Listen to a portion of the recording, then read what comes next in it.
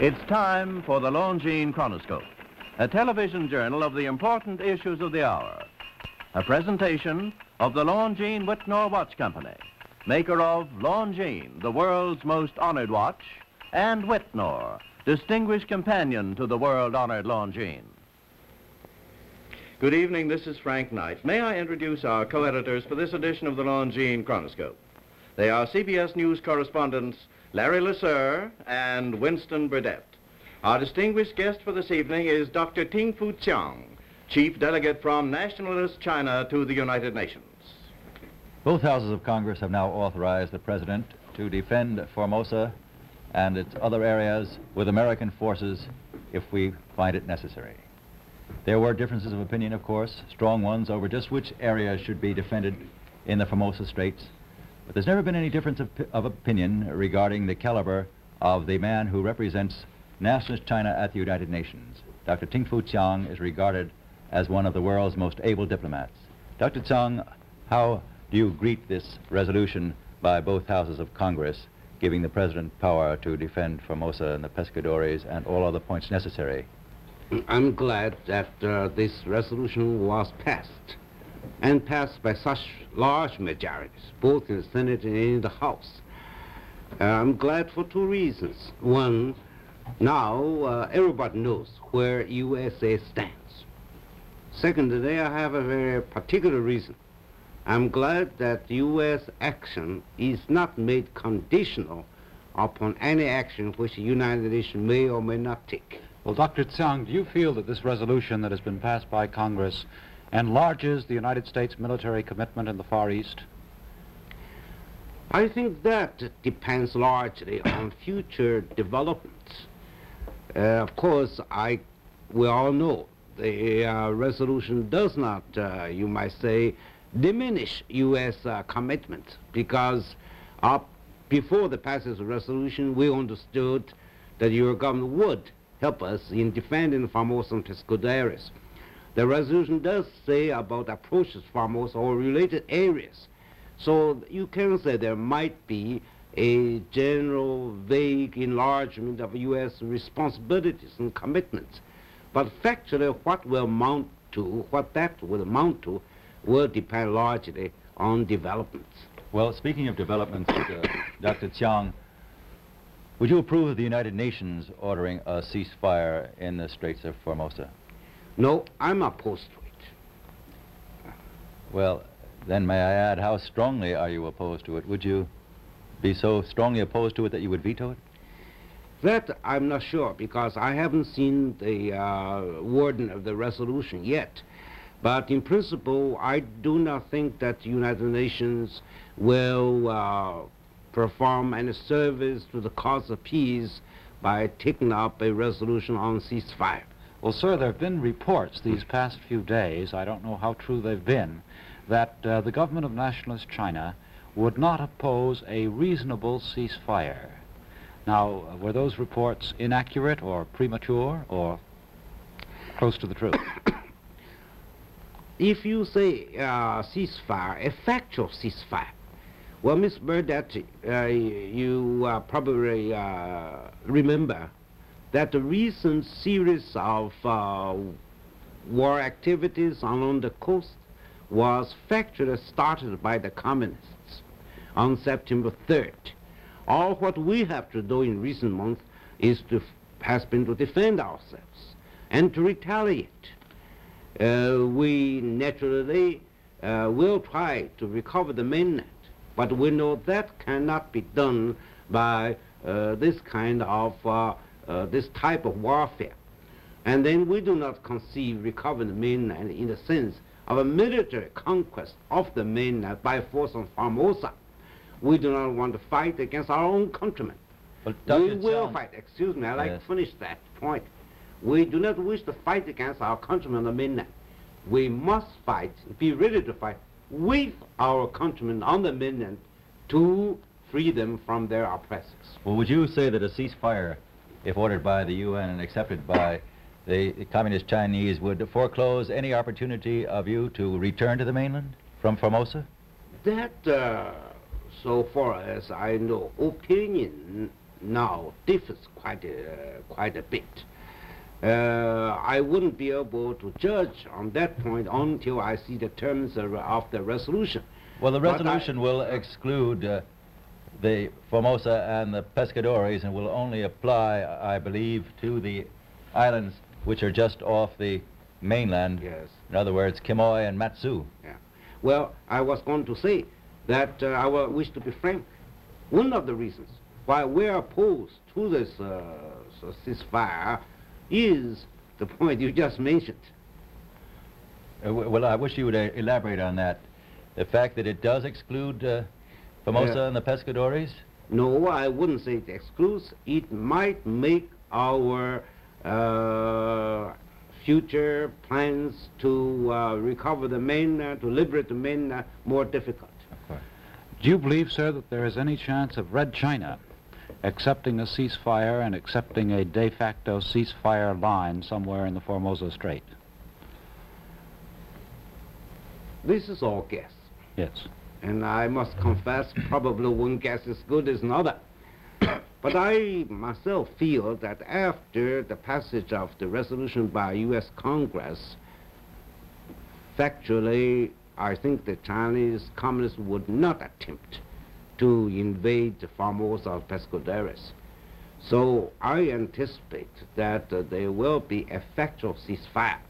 In that respect, I have the feeling that your president has already rendered the cause of peace a great service. When you speak of a ceasefire order by the Security Council, that is an entirely different matter. I doubt that the communists would accept such an order. Because it comes from the United Nations? Yes, that's one thing. I think they will argue, as they have already argued, on Article 2, Section 7 of the Charter, that this matter is essentially within the domestic jurisdiction of a state. Well, actually, of course, the uh, question of the ceasefire, as it will be put before the Security Council, would be as a threat to international peace. But I'd like to go further on that, Dr. Tsiang. Would you approve of the uh, United Nations inviting a representative of Communist China to come to New York to debate this subject with you? No, I'm opposed to it. I think the uh, United Nations, I think any organ of the United Nations should not invite uh, anybody who has already been condemned by the United Nations as an aggressor. Well, sir, to leave... How strongly are you opposed to that? I'm very uh, strongly opposed to it. uh, to leave Formosa out of the out of the picture a moment, do you believe that there is any chance that the Chinese communists will cease firing in their battle to uh, to conquer the coastal islands, Quemoy, Matsu, and all the rest? I think there is a possibility that they will factually cease Give up. firing this. uh, You believe there is such a possibility? I think there is that possibility. Do you think that uh, Red China actually wants to get into the United Nations, Dr. Tsiang, or do they actually want more aggression? I think they want to get into the United Nations for sake of the prestige that membership in the UN confers on a state. And they figure out that aggression and membership are consistent and harmonious, and they confer, have both. Well, Dr. Tsiang, if, there, if the United Nations should order a ceasefire in the Formosan Straits and also invite a representative of Communist China to come to New York, would you consider that a step towards recognition? That depends on future developments. I would not go so far as that. I think, no doubt, that step does confer some additional prestige on the Chinese communists. Well, is it uh, to be taken then, sir, that the Taipei government has not made up its mind exactly how it will react to any resolution by the United Nations which might invite a representative of Communist China to come to this country? We will oppose it. Well, in other words, do you think it will be a substantive or a procedural question? Will, can you veto it? That, of course, you know, uh, that point, the particular point was raised in the Security Council once upon a time, and uh, opinions differ. I don't want to be dogmatic. Uh, some years ago, I held that it was a point of substance, but the majority members, majority of the members held it was not a, uh, a substantial question, but uh, a procedural question. And a procedural question, of course, is not subject to the That's veto, right. but this might also be a subject of debate should the invitation go Yes. out to Communist China. Well, can you tell me, Dr. Tsiang, Just what is your considered opinion re- right now regarding the possibility of the enlargement, the spreading of this war in the Formosan Straits? Is it dangerous? No, I think not. I think not. I'm convinced that the world communism will seek uh, fields for further expansion. But I observe that they usually select soft spots. I think they know that uh, Formosa is not a soft spot. And at least there are other spots much softer than Formosa.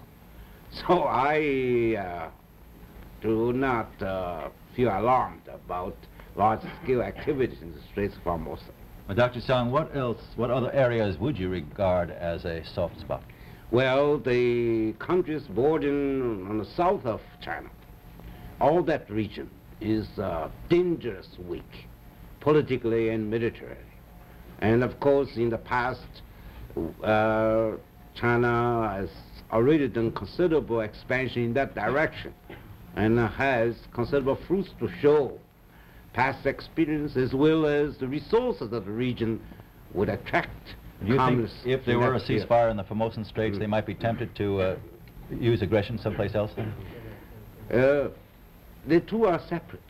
Whether there is ceasefire or not, their intention to extend southwards is a permanent factor. Well, thank you very much, Dr. Tsiang. It's always a great pleasure for you to come here and talk to us. The opinions expressed on the Longines Chronoscope were those of the speakers. The editorial board for this edition of the Longines Chronoscope was Larry LeSueur and Winston Burdett. Our distinguished guest was Dr. Ting Fu Tsiang, Chief Delegate from Nationalist China to the United Nations.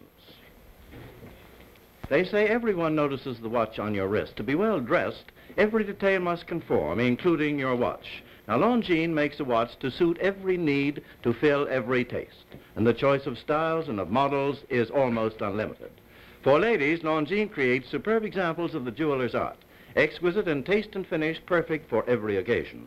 For men, Longines produces watches for every requirement, watches for dress and for sport. Longines automatic watches, the most advanced in the world. Waterproof and shock-resistant watches for rugged service. Longines chronograph watches for sportsmen and scientists. And every Longines watch, whether for a lady or for a gentleman, is made to the unique standards of excellence which have won for Longines 10 World's Fair grand prizes, 28 gold medals, highest honors for accuracy in fields of precise timing. And this statement is true throughout the world. The Longines watch on your wrist is just about the finest watch made anywhere in the world, the watch of highest reputation and prestige. And yet, surprisingly, you may own or proudly give a Longines watch for as little as 7150. Longines, the world's most honored watch, the world's most honored gift, premier product of the Longines Wittnauer Watch Company, since 1866, maker of watches of the highest character.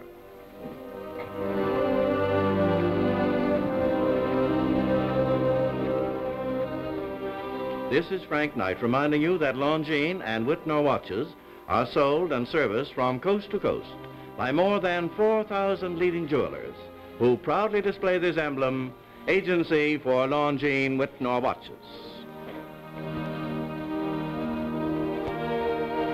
At Longines Wittnauer Jewelers, see Atmos, the perpetual motion clock created by LeCoultre. Atmos runs without winding, without electricity, powered only by variations in the temperature of the atmosphere. Atmos, product of LeCoultre, division of Longines Wittnauer. Hmm.